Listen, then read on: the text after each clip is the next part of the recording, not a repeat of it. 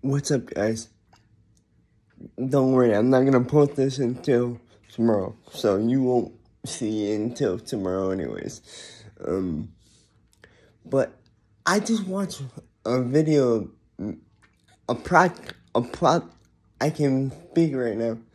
A podcast, um, podcast, um, with Mr. Beast and I guess his name is Jake Paul. I don't know. Um, cause I know Mr. Beast. Like everybody knows Mr. Beast, right? And I learned so much from that podcast. Like it changed my outlook on everything, everything, everything I do know.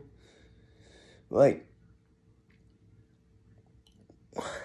wow, I can't I can't wait to um, put it out there because I need to wait until I shoot the video.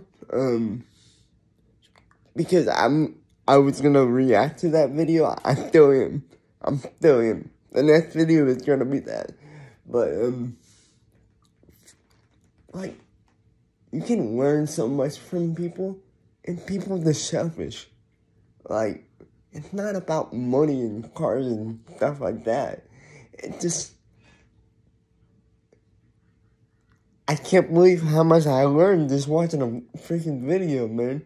Because honestly, honestly, like stay school and stuff like that, but when you get out in the real world and start learning stuff, it's a different outlook.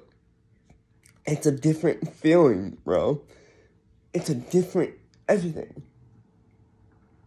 Just stay tuned for that video and I'll, I'll make sure I get that video out. Um,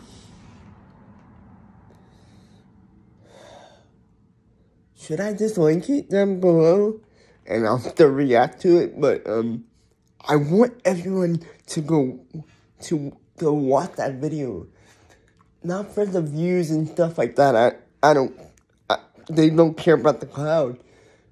That's the thing. It's more than cloud for them, and it's more than a cloud to me. It's just learning something from that video. It just it changed everything for me. Go watch it. I would really appreciate it. God, man.